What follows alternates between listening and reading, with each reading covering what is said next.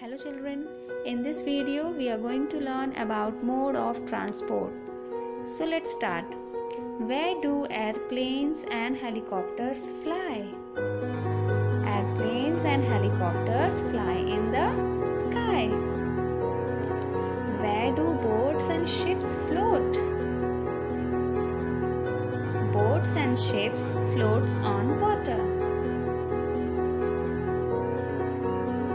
Where do car and buses run?